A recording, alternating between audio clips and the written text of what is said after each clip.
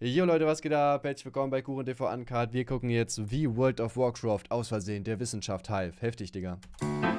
Mama, Schüssel Ich war zehn Jahre alt, gerade einmal 40 Level stark und derart orientierungslos, dass ich nicht einmal merkte, dass um mich herum Geschichte geschrieben wurde. Im Online-Rollenspiel World of Warcraft. Digga, als ob, als, ob er mit, als ob er mit 10 Jahren schon Level 40 bei World of Warcraft war. Ihr könnt mal reinschreiben, habt ihr World of Warcraft gespielt? Und wenn ja, wie alt wart ihr, als ihr das das erste Mal gemacht habt? Das äh, würde mich mal interessieren. Also ich habe das erste Mal World of Warcraft gespielt, ich glaube, da war ich zwölf oder so. Elf, zwölf, irgendwo da. Mein Stiefbruder hat das halt gespielt. Ja, und dann habe ich natürlich auch irgendwann angefangen. Aber mich hat das halt auch nie so wirklich gecatcht tatsächlich. Also ich weiß nicht, das ist so kein Spiel, wo ich jetzt so den ganzen Tag versinken kann. Ähm, ich fand auch damals zum Beispiel, ist es mir immer so nach 20, 30 Leveln langweilig geworden und habe einen neuen Charakter gemacht, weil ich mir dachte, jo, jetzt habe ich halt 30 Level Krieger gespielt, jetzt habe ich Bock auf was anderes. Außer den Todesritter. Wo der Todesritter rauskam, Digga, äh, wo der Todesritter rauskam, Digga, den habe ich durchgesuchtet. Vor allem, ich war auch so dumm, ich weiß gar nicht, wie alt ich da war, 13 oder so. Oh Mann, ey, das, ist, das war echt einfach nur dämlich. Ich hatte halt, du musst ja vorher ein Level 55 haben. Und ich glaube, ich hatte einen Schaman auf 55. Und ich dachte so, ja, okay, Digga, ich will jetzt mit dem Todesritter durchziehen. Und habe alle meine Gegenstände mit dem Schaman verkauft. Also einfach halt ganz normal verkauft bei so einem Verkäufer, der da halt rumstand. Also wirklich mein ganzes Gear, alles. Ich war komplett nackt. Und das waren halt insgesamt so, keine Ahnung, 12 Gold oder so. Und alleine, wenn du ja die Quests von dem Drachenritter machst, also dieses Gebiet, hast du halt irgendwie schon 60 Gold oder so. Das heißt, also diese 12 Gold waren halt komplett unnötig. Ich weiß gar nicht, warum ich das gemacht habe. Das war so dumm. Ich dachte so, ja gut, ich muss ja irgendwie so ein Startgehalt haben, ne? Jetzt habe ich da halt irgendwo noch so einen Schaman rumhängen auf Level 55, der überhaupt keine Equipped hat. Ich, wie wie komme ich da wieder rein, Digga? Also, was soll ich machen? Was, was ist meine Möglichkeit jetzt? Keine Ahnung. Ich müsste ja, ja, weiß ich nicht, was soll ich machen? Ja, wenn wir mit anderen Charakteren Gold geben und dann im Aktionshaus was kaufen, wahrscheinlich, Alter. Bricht äh. Ende 2005 durch einen Programmierfehler eine Pandemie aus, die sich nahezu auf die gesamte 6,5 Millionen starke Spielerschaft auswirkt, den Spielalltag komplett verändert, echte Krank, epidemiologische Daten also hervorbringt also und damit 15 Jahre später menschliches Verhalten in einer echten Pandemie erklärt. World of Warcraft war und ist ein Phänomen für sich. 2005, ein Jahr nach der Veröffentlichung, ist es für viele Spieler das erste Spiel dieser Art und eröffnet vielen Nichtspielern ihre ersten naiven Schritte in einer neuen Welt. Das Spiel ist damals das Mittel zum Eskapismus, um abzuschalten und stattdessen mit Freunden oder Fremden aus der ganzen Welt Herausforderungen zu bestreiten. Eine dieser neuen Herausforderungen erscheint am 13. September 2005. Die Hauptstadt des Dschungeltroll-Imperiums will den Loa des Blutes Hakar in ihre Welt beschwören und das ist schlecht. Also sind Spielerinnen und Spieler angehalten zu intervenieren, in diese Stadt zu reisen und den Trollen sowie dem später beschworenen Hakar die Motivation aus dem Leib zu prügeln. Und das machen sie dann auch. Herausforderungen wie diese finden nur in abgesperrten Bereichen statt, in die man nur mit einer Gruppe von 20 Spielern kommt und dort ah, dann so unter sich okay. ist. Außerhalb dieser Instanz geht das Leben aber weiter. Fremde Spieler laufen sich über den Weg, grüßen sich oder fordern sich Ey, zu Duellen heraus. Sehe ich doch. Und diese Herausforderung war zwar nicht einfach, aber machbar. Es dauerte nicht lang, bis die ersten Spielergruppen vor dem Endgegner HK standen und sich mit ihm maßen. Um den Kampf etwas anzuheizen, verteilte HK zwischendurch immer mal wieder ein Fluch namens verdorbenes Blut oder Corrupted Blood der betroffenen Spielern alle paar Sekunden ein wenig Leben abzieht und sie dazu drängt, voneinander Abstand zu halten, damit der Fluch nicht auf andere ah, Mitstreiter ah, überspringt. Ja, diese Raids und so weiter habe ich tatsächlich nie gemacht, lustigerweise in World of Warcraft. Also ich hatte ja auch schon mal so Max-Level. Ich war, glaube ich, bei einem einzigen Raid dabei, ich weiß gar nicht. Das war da waren wir irgendwie auch irgendwas, was, was mit Wüste zu tun hat. Da habe ich dann irgendwie so einen so Käfer als, als Mount bekommen, was ich aber nur in dieser Instanz nutzen kann. Weil ich auch richtig kacke fand. So, ich meine, du hast schon die Chance, das war super selten, wohl alle haben sich aufgeregt, dass ich das bekommen habe. Und ähm, ja, das äh, ist halt total dumm. Warum äh, kann man das halt nur in der Instanz verwenden? Das habe ich irgendwie nicht gecheckt, so, weil, keine Ahnung. Als ob ich jetzt da reingehe, um dann damit rumzulaufen. Ähm, ja, aber ansonsten habe ich nur die normalen Instanzen gemacht. Also diese richtigen Raids mit so 100 Leuten, weiß ich nicht, war jetzt nie so wirklich meins. Vor allem, ich weiß gar nicht, irgendwer hat mir das letztens erzählt, ich glaube ein Kollege oder so, ich bin mir gerade gar nicht sicher. Ähm, der hat, äh, der spielt auch World of Warcraft, ist auch in so einem Clan drin. Und dem, äh, der, der Clanführer, der mit irgendwie einmal in der Woche Raid und so ein Mitglied meinte so, jo, ich kann das nicht, äh, Anquira, ja, das könnte sogar sein, Digga. Ähm, und der ähm, konnte halt nicht zu dem Raid, weil er was mit seiner Freundin gemacht hat. Und dann meinte der Clan-Chef halt zu ihm so, ja, dann bist du raus aus der Gilde, was soll denn das, Digga, das ist mega wichtig, du lässt uns hier alleine, bla bla bla. Wo ich mir auch so dachte, wo ich das gehört habe, Alter, Digga, für diesen Typen ist halt World of Warcraft so ein komischer Gammel-Raid. halt einfach wichtiger, als dass der Typ im Real Life was mit seiner Freundin macht. Also, weiß ich nicht, das ist für mich schon, das ist für mich so super suspekt. Keine Ahnung, vielleicht sehe ich das aber auch nur so, äh, weil ich halt das weird finde, irgendwie für World of Warcraft das Real Life liegen zu lassen. Ich meine, gut, wenn, wenn jetzt jemand nicht zum Fußballspiel kommt, weil er was mit seiner Freundin macht, würde ich vielleicht auch sagen, so, ja, komisch irgendwie.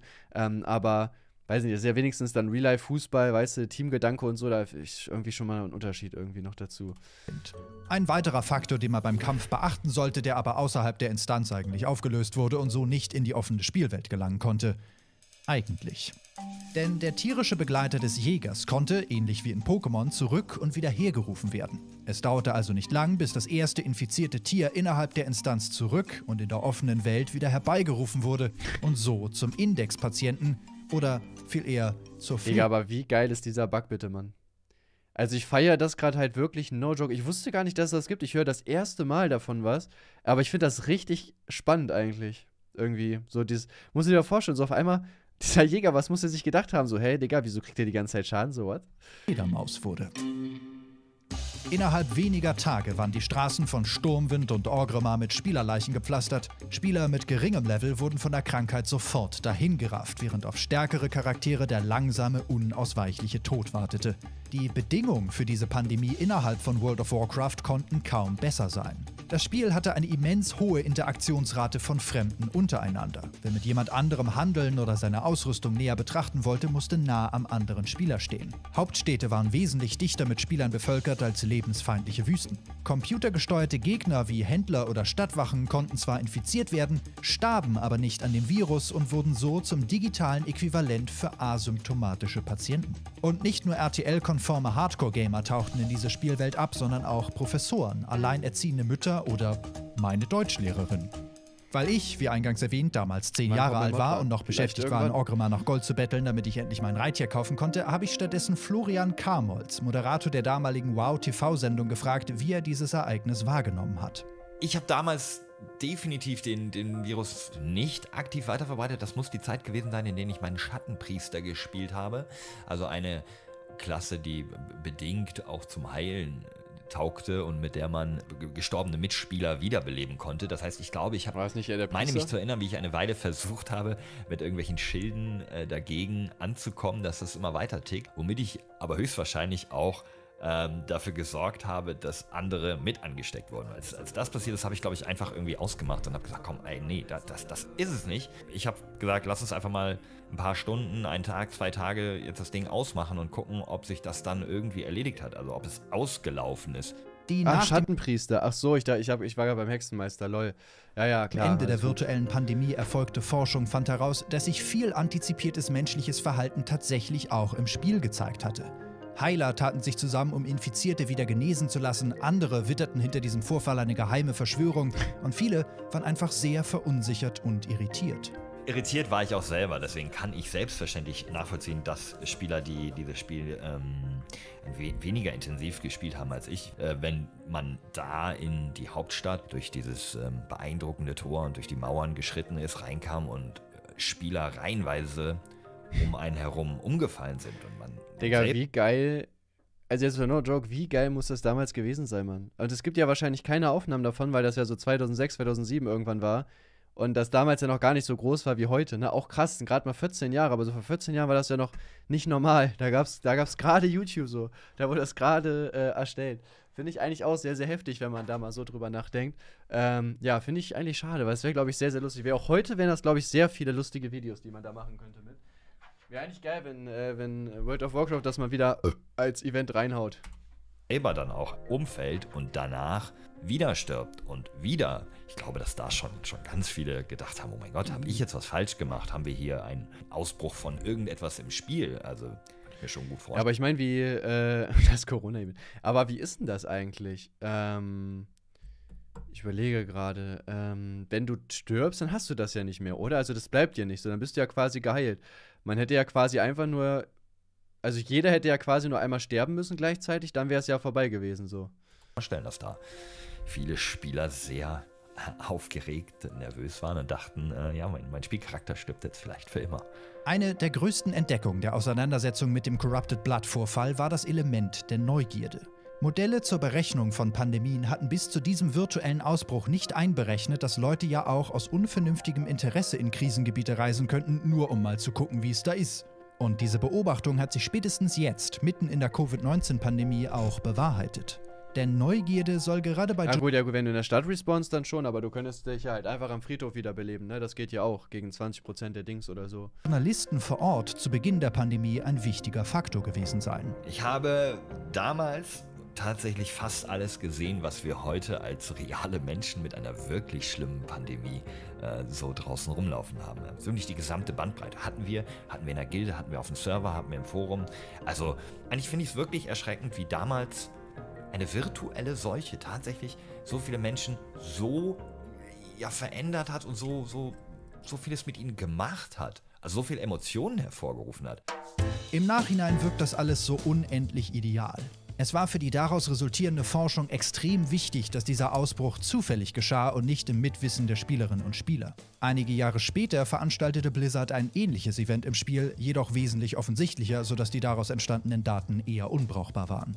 Natürlich gab es auch Leute, die es sich im Spiel aktiv zur Aufgabe gemacht haben, andere zu infizieren. Und auch wenn es keine genaue Parallele dazu in der echten Welt gibt, sind diejenigen, die aus purer Ignoranz sich und andere gefährden, kaum etwas anderes. Es ist also sicherlich nicht alles. Ja, finde ich aber krass eigentlich, ne, dass es das echt mal gegeben hat. Und dann haben die es war, wie, wie lange war das drin? Weiß das einer zufällig? War es jetzt ein Tag drin oder zwei? Ich meine, sowas patchen die doch auch bestimmt mega schnell raus, oder? Ich meine, das kriegen die ja wahrscheinlich auch mit, wenn da auf einmal alle sterben. gleich. Manchmal sind die Parallelen ja auch eher gegenläufig. Damals hieß es weg vom Rechner und raus an die frische Luft, heute dann wohl eher äh, rein ins Warme und ran an den Rechner. Wenn man also dann doch aus Computerspielen etwas lernen könnte und das dann ignoriert, dann ist das vor allem furchtbar schade. Dekadent hat einfach 6000 Subs, ja, keine Ahnung, ich verstehe es auch nicht, aber Und wer sich Bro, jetzt abseits von der Pandemie noch für Reize an Verschwörungserzählungen interessiert, kann sich hier die erste von insgesamt vier einstündigen Präsentationen von mir und meinem alten Kollegen Paul angucken. Da geht's um Definition, Psychologie, Geschichte und den Umgang mit ihnen im eigenen. Stimmt, Digga, dieser Paul ist gar nicht mehr bei dem Kanal dabei, ne? Stimmt, ey, der war auf einmal weg. Ja, aber gutes Video auf jeden Fall. Wobei man vielleicht noch ein paar Informationen mehr werden werden, lieber Jenkins. Wäre auf jeden Fall nice, aber sonst äh, feiere ich das auf jeden Fall. Bin weg zum Training, euch noch schönen Abend. Bruder, viel Glück heute beim Training, Alter.